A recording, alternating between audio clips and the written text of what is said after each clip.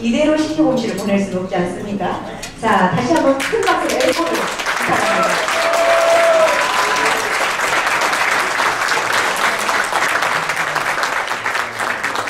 아, 띵 관계로 물 한잔 하겠습니다. 어떻게 괜찮으셨어요? 네.